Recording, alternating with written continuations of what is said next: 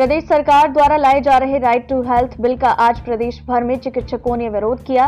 इस दौरान बीकानेर में भी निजी चिकित्सकों ने कार्य का बहिष्कार किया और गांधी पार्क से कलेक्ट्रेट तक रैली निकालकर प्रदर्शन किया। नवभारत समाचार, बीकानेर, राजस्थान से सुरेश जैन की रिपोर्ट। सदस्य, उनको ज्ञान नहीं है। उनको ज्ञान होगा, लेकिन अपने क्षेत्र का होगा।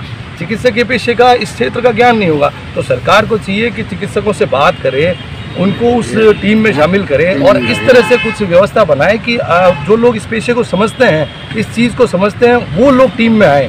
यूँ नहीं कोई चलता फिरता आ जाएगी ये आपने गलत किया ये आपने सही तो किया। आज आप क्या कर रहे हैं? आज हम लोग ये कर रहे हैं कि आज हम लोग सबसे पहले एक विरोध प्रदर्शन अपना करेंगे यहाँ पे और उसके बाद हम जिला कलेक्टर के माध्यम से मुख्यमंत्री महोदय को एक ज्ञापन देंगे कि किस तरह हम चाहते हैं कि हमें शामिल किया जाए। राइट हॉस्पिटल सारे प्राइवेट हॉस्पिटल्स और नर्सिंग होम और सब लोग आज के दिन Labs 24 भी आवर्स तक लैब्स भी कल सुबह आठ बजे तक ये सारा बंद रहेगा। ये हमारी एक शुरुआत है। अगर सरकार ने हमारी बात नहीं सुनी तो अनिश्चितकालीन बंद के लिए भी हम काम करेंगे। और इसका मुद्दा ये है कि सरकार ने क्या किया इस बिल के माध्यम से हमें ये भी कह दिया है कि अगर इस बिल को आपने फॉलो नहीं किया तो हम आप पे कार्रवाई करेंगे। और इसकी अपील भी आप किसी भी कोर्ट में नहीं कर सकते। हैं तो आप सोचिए कि ये कोर्ट में अपील करना तो हर नागरिक का मौलिक अधिकार है। और अगर ये अधिकार भी हमसे छीन लिया गया तो क्या हम भारत के नागरिक ही नहीं है जो हमें मतलब मौलिक अधिकारों से वंचित किया जा रहा है? ठीक है नाम बताओ सर मैं doctor Vikas Pareek Bikaner. Secretary I M A Bikaner. आप सब लोगों को ये थोड़ा सा मैं बताना चाहूँगा कि आज जो हम लोग ये आंदोलन कर रहे हैं ये राइट टू हेल्थ बिल के विरोध में आंदोलन किया जा रहा है। सरकार एक बिल लेके आना चाहती है जिसका नाम है राइट टू हेल्थ सबसे पहले तो मैं ये बताऊँगा राइट टू हेल्थ बिल की आवश्यकता क्या पड़ी?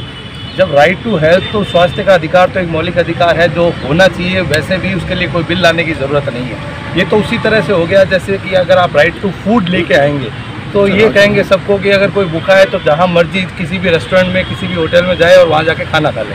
राइट टू एजुकेशन में क्या ये व्यवस्था है कि किसी भी स्कूल में पढ़ने जाना चाहे और जाके सीधा एडमिशन करा ले? यही किया जा रहा है कि राइट टू हेल्थ के अंदर पेशेंट या जो नागरिक हैं राजस्थान के, वो किसी भी अस्पताल में जाएँ, चाहे वो उस विभाग की विशेषज्ञता रखती है, चाहे नहीं रखती है। उन्होंने इमरजेंसी वर्ड को कोई भी क्लेरिफाई नहीं किया है कि इमरजेंसी क्या है। इस तरह अगर किसी आँख के अस्पताल में हड्डी का पेशेंट जाएगा और अपना इलाज कराएगा तो कैसे संभव होगा? दूसरा, इमरजेंसी के लिए सरकार ने ऐसे कोई फंड्स की व्यवस्था नहीं की है, ऐसा कोई अमाउंट तय नहीं किया है कि जो निजी अस्पताल है अपना सारा खर्चा स्वयं उठाते हैं, सारा उनके, उन पे बावन प्रकार के टैक्सेज हैं, बावन प्रकार के उनके कानून लगे हुए हैं तो वो जो निजी अस्पताल चलाने वाले चिकित्सक हैं, वो कैसे इसको मैनेज करेंगे? दूसरा मैं ये कहना चाहूँगा कि सरकार राइट टू हेल्थ बिल इसलिए ला रही है, हमें ऐसा लगता है कि वो अपनी ज़िम्मेदारी निजी क्षेत्र के ऊपर डालना चाहती है। मुझे ऐसा लगता है सरकार शायद इस मामले में सक्षम नहीं है। इतने बड़े बड़े मेडिकल कॉलेज हॉस्पिटल्स हैं सेटेलाइट हॉस्पिटल हैं पीएचसी सीएचसी सब सेंटर्स हैं। क्या वो सक्षम नहीं है कि नागरिकों को अच्छा स्वास्थ्य प्रोवाइड करा सके? अगर वो सक्षम नहीं है तो कम से कम सबसे पहले उनको सुधारे। सारा बोझ जो है चिकित्सा का, आज भी 65 परसेंट पेशेंट लोड लेने वाली संस्थाएँ प्राइवेट हॉस्पिटल्स हैं। और वो प्राइवेट हॉस्पिटल्स तो अपना काम कर ही रही है।